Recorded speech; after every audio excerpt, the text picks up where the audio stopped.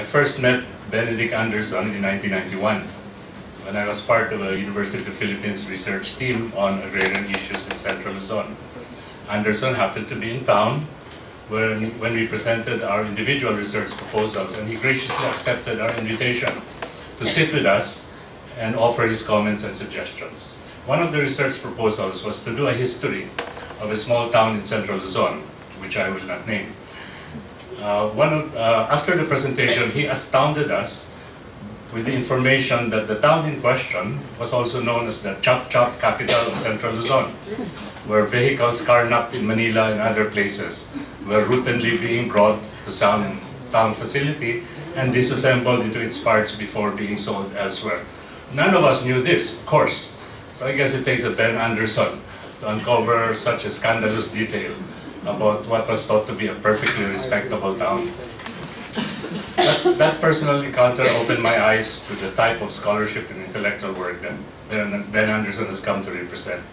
Even as he looked at the big picture, discoursing on the formation of nations and other macro perspectives, his feet remained firmly on the ground as he was constantly on the lookout for oddities in social life that would provide jump-off clues to the essence and realities of the human condition.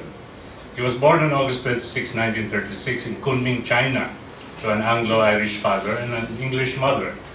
The family descended from the Anderson family of Ardbrake, Porthripney, if I um, pronounce right, Scotland, who settled in Ireland in the early 1700s. Ben's father, James Carew O'Gorman Anderson, was an official with the Chinese Maritime Customs, assigned to collect taxes and run after opium dealers. James Anderson was actually born in Penang, now in Malaysia, whose father, Ben's grandfather, that is, was one of the first British colonial officials who built the city's big water reservoir, which still stands today, I'm told, as well as a modern harbor. He also built a nice Irish family house on top of Penang Hill, which still exists. Ben's grandmother, Lady Frances Anderson, was the daughter of a well-known Irish member of parliament, Ben's great-grandfather, Nicholas Purcell O'Gorman, who had been involved with the bloody 1798 Irish uprising against English rule. Ben takes his middle names from another ancestor, Richard O'Gorman, who was one of the leaders of the Young Irelander Rebellion of 1848, part of the 1848 series of revolutions all over Europe that Karl Marx wrote about. His equally distinguished younger brother, Perry Anderson, is a noted historian and a political theorist was editor of the iconic Marxist New Left Review from 1962 to 1982. Anderson was brought up mainly in California and after moving to Ireland went to Eton College and then to Cambridge University, studying briefly under the famous Marxist historian Eric Hobsbawm. And graduating with a first-class degree in classics in 1957, he moved to Cornell University in 1958 to pursue a PhD in Indonesian politics, completing it uh, with, the, with a book called The Pemuda Revolution Indonesian Politics 1945-46. He taught in the Department of Government at Cornell University until he retired in 2002.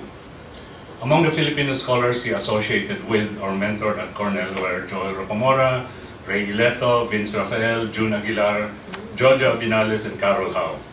He was a great admirer of Jose Rizal, whom he fondly called Lolo Jose, and who occupied special places in his writings. He had extended that fondness to other anti-colonial heroes, especially the anarchist socialist Isabelo de los Reyes, whose folklore horror classic El Diablo en Filipinas he, has, he had translated into English and it was launched uh, last year uh, here at the Asian Center. Anderson was of course best known for Imagined Communities, Reflections on the Origins and Spread of Nationalism, published in, 18, in 1983, but has since undergone countless editions and has been translated into 34 languages. It is a path-breaking and highly innovative work that has supplied one of the most popular and often quoted concepts in the academic world, popular literature, and even beyond. In it, he systematically describes trying to reconcile Marxist and nationalist theories, the major factors contributing to the emergence of nationalism in the world during the past three centuries. But aside from being an astute scholar, Ben Anderson also belonged to the uncommon breed of committed and socially conscious intellectuals.